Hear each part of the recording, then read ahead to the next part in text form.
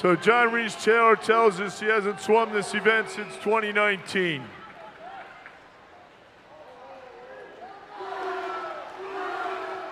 We know he's strong in the 200 breast. He's out pretty quick tonight. He was 25.85 this morning. Tonight he's 25.05. Luke Vickers in second at 25.23. He was 25.83 this morning. And then Drew Kath Hoffner, 25.62 this morning. He's below that. He's been pushing for home.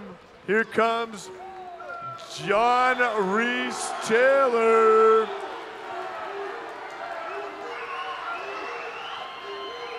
And he takes his second breaststroke championship of the week. John Reese Taylor goes 53-28, followed by Luke Vickers, and then Drew Gareth Hoffner. Great swim, gentlemen.